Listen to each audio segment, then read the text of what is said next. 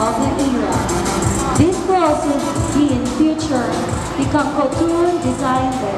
Will make available intense color and being drawn and looks right up at the back drapery and fluids.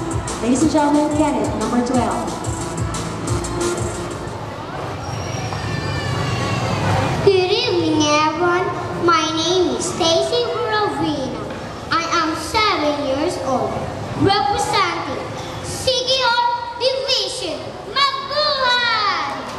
Candidate number 12 for everyone. Let's proceed to candidate number 13. Candidate number 13 band is inspired by the Panagbenga Festival, which is one of the most famous and world-renowned festivals in the Philippines. The base organ is made out of sax, a